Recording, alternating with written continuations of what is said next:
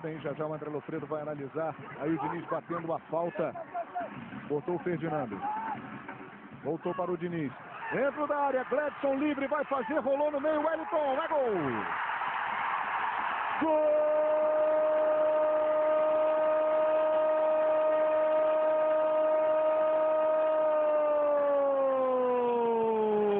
Do Araguaia!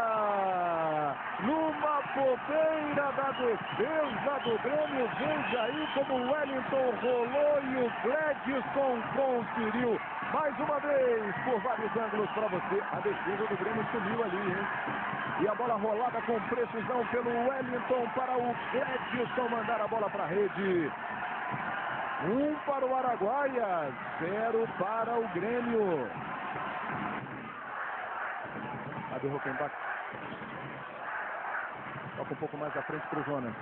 Vamos ver se o Grêmio melhora no jogo. Cruzamento na área, cabeçada, a bola vai entrando e é gol. Gol!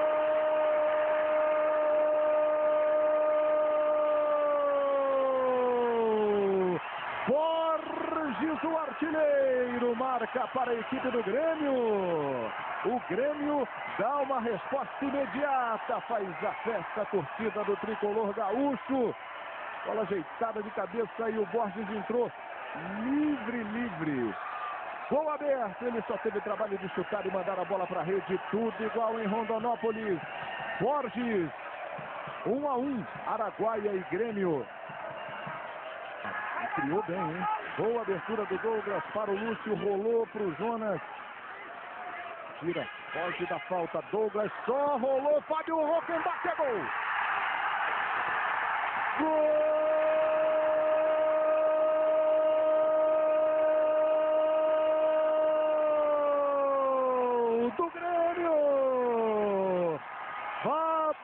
Rockenbach faz a festa, a torcida tricolor do Rio Grande do Sul.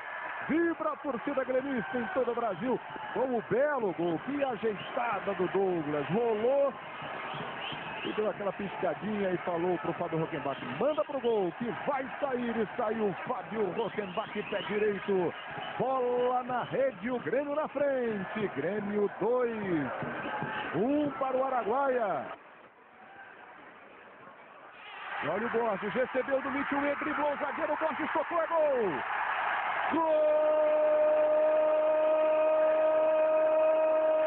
do Grêmio!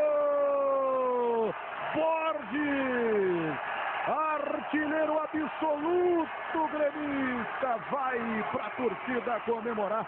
Mitchue fez a jogada, o garoto que saiu do futsal para brilhar no campo e o Borges. Com o faro do gol, ganhou do zagueiro, tocou no canto. O Grêmio faz dois gols de diferença.